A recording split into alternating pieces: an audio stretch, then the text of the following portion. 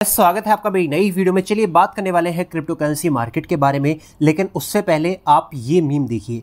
तो आपके सामने एक मीम आने वाली है, मुझे बहुत सही लगी तो मैं आपके साथ यहाँ पर शेयर करने वाला हूँ। तो अब आती है आपके सामने डिस्प्ले पर मीम तो इसमें क्या बताया हुआ है? इसमें गवर्नमेंट के हालात बताए हुए हैं। सबसे पहले जब क्रिप्टो मार्केट आपकी क्रैश करती है क्रिप्टो मार्केट जब यहाँ पर डंप करती है तो गवर्नमेंट क्या कहती है? कि यार, हमने तो आपको पहले ही बोला था कि आपको क्रिप्टो में इन्वेस्टमेंट नहीं करना चाहिए, क्योंकि ये तो आपका एक स्कैम है, ये तो आपका एक फ्रॉड है, ये तो वो लोग हैं जो कि यहाँ पर सट्टेबाजी खेलते हैं तो आपको तो यार इन्वेस्टमेंट नहीं करनी चाहिए थी। लेकिन जब आप क्रिएट कर लेते हैं प्रॉफिट क्रिप्टो के अंदर तो भैया कटोरा लेके आ जाती है गवर्नमेंट अपना कि भैया हमारा टैक्स कहाँ है? टैक्स का है। तो ये आपकी एक मीम है जो कि मैंने आपके साथ शेयर करी है।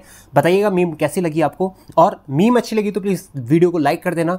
और अपडेट अच्छी लगी तो प्लीज़ वीडियो को लाइक कर देना। चैनल के साथ अभी तक नहीं जुड़े तो जुड़ जाना। अब आपके सामने आने जा रही है पहली अपडेट तो पहली अपडेट है आपकी बिटकॉइन की। तो एक बहुत फ़ेमस यूट्यूबर है काल करके है। बेसिकली इनका जो यूट्यूब का नेम है, वो है द मून काफ़ी फ़ेमस है, दुबई में रहने वाले हैं मिलेनर बिलेनर है. काफ़ी पैसा इन्होंने क्रिप्टो से कमाया है. तो इनका कहना ये है बिटकॉइन के बारे में. इन्हें लगता है कि अगले 600 दिन में जो बिटकॉइन है, वो वन लाख डॉलर टच करेगा. नेक्स्ट अपडेट यहाँ पर बढ़ते हैं हम. तो एक अफवाह उड़ थी मार्केट में कि जब से बाइनेंस के ऊपर के होनी स्टार्ट हुई है तो बाइनेंस ने अपने 90 परसेंट यूज़र जो है, वो खो दिए हैं. तो अब एक बयान आया है बाइनेंस के सीईओ की तरफ़ से। इन्होंने बोला है कि ये सिर्फ़ एक अफवाह है, इसमें कुछ भी सच्चाई नहीं है। हमारे जितने यूज़र पहले थे, उससे ज़्यादा यूज़र अब हमारे पास हैं। नेक्स्ट अपडेट आपकी इथीरियम की है तो जो इथीरियम के माइनर्स हैं, देखो मैंने आपको थोड़े दिन पहले एक न्यूज़ दी थी, जो माइनर्स हैं माइनर्स यानी कि जो पूरी ब्लॉकचेन को चला रहे हैं, इनके पास कोई भी प्रॉफिट नहीं बच रहा था।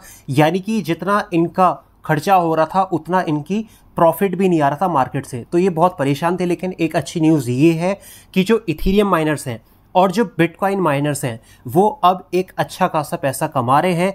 बात करें जुलाई जुलाई में तो इथीरियम माइनर्स ने कमाए हैं लगभग 571 मिलियन डॉलर्स और बिटकॉइन माइनर्स ने कमाए 555 मिलियन डॉलर्स तो ये एक अच्छी अपडेट है। क्यों है? क्योंकि मेरे भाई, अगर माइनर्स यानी कि जो हमारी ट्रांजेक्शन्स को सॉल्व कर रहे हैं, वो अगर खुश रहेंगे तो भाई अच्छा ही होगा क्रिप्टो मार्केट के लिए, बुरा तो कुछ होगा ही नहीं, ठीक है?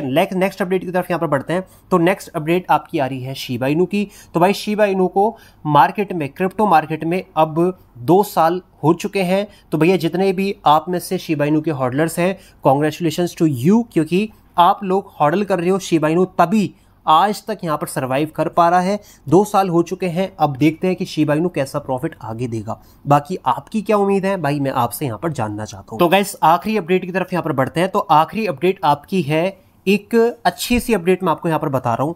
तो आज से दस साल पहले अगर आप एक हज़ार डॉलर इन्वेस्टमेंट करते, कौन सी कौन सी कंपनीज़ में टेस्ला में, नेटफ्लिक्स में अमेजोन में माइक्रोसॉफ्ट में गूगल में एप्पल में मेटा यानी कि अपनी फेसबुक में वीज़ा में वीज़ा कार्ड जो चलते हैं। लकोस्ते एक ब्रांड है फ़ैशन इनेबल फिर नाइकी है, नाइकी को आप सब जानते हैं। स्टारबक्स एक कॉफ़ी ब्रांड है और मैगडी, आप सभी जानते हैं, एक फ़ूड चेन है और साथ ही साथ बिटकॉइन में। तो इतनी सारी जो ब्रांड है, ये कि बहुत ही पुरानी पुरानी ब्रांड है मेरे भाई, काफ़ी काफ़ी पुरानी ब्रांड है।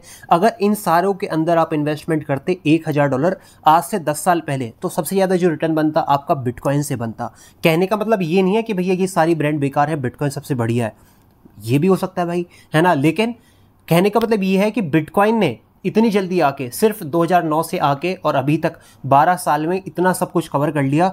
अगर आप अभी घबराए हुए हो बिटकॉइन को लेकर तो भाई घबराओ मत। बिटकॉइन को किसी भी सबूत का ज़रूरत नहीं है। अगर आपको सबूत देखना है एक बहुत ही होशियार बंदे ने बोला था, बहुत ही एक जानकार शख्स ने बोला था कि अगर किसी चीज़ का आपको फ्यूचर देखना है तो आप उसकी हिस्ट्री देख लो, आपको फ्यूचर खुद ही दिख जाएगा। तो भाई, मैं आपको हिस्ट्री दिखा रहा हूँ, आप फ्यूचर खुद ही देख सकते हो। भैया फ्यूचर तो बहुत ब्राइट है, आपको बस अपनी सीट की जो पेटी है, उसको बांधना है और तैयार रहना है फॉर दी बुल मार्केट मैं भी इंतज़ार कर रहा हूँ, आप भी इंतज़ार कर रहे हैं। और अगर आप चाहते हैं कि जल्दी से जल्दी बुल मार्केट आए तो मेरे भाई, इस वीडियो पर बिल्कुल भी बिल्कुल भी कंजूसी मत दिखाना लाइक करने के लिए।